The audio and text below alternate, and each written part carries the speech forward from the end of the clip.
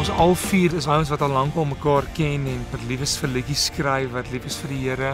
Ons het regtig vir die Here gevra, maak ons geestes oop, dat ons U kan sien en U kan ervaar.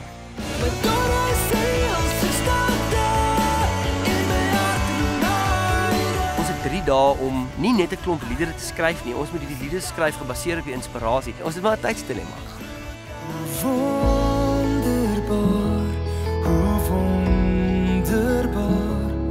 weer klink. Skielik kom almal net en nou het ons weer nog 'n liedjie.